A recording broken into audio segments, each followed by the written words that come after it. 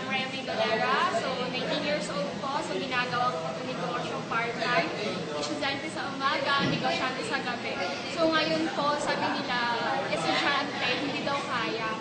Kasi, ano, business school. So, ito po yung negosyo na AIM Global po, 1-2 hours lang po po yung ginagawa. So, marami nang sabi sa akin, Rhea, hindi mo yan kaya. So, sabi ko, kaya ko to kasi maraming paraan. So, dito po ay grabe po, ang, ang dami-dami ko pong natulungan. At the same time, marami din po akong na-income po sa Global. Ngayon po, bibili po kami ng anim na package. So, sa Qatar po itong pera. So, bibili na po kami ng anim na package. So, halika po, bili po tayo ng package. Ayan. Walo. Yung sa walo po.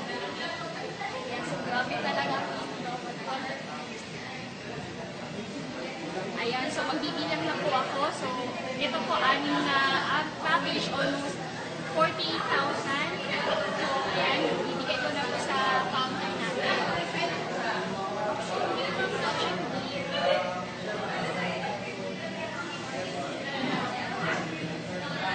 So, grabe talaga ang global. So, kung ikaw, ikaw, ikaw so, dapat mag-aim ka na din. Kasi, estudyante ka man, negosyante ka, empleyado ka, pwede mo din gawin. Ako nga, nagagawa ng estudyante sa mga lalaki dyan, kayang-kaya nyo yan. Tama? Power talaga. Grabe, oh. Qatar. So, grabe, power. Wala ko, speechless po ako ngayon.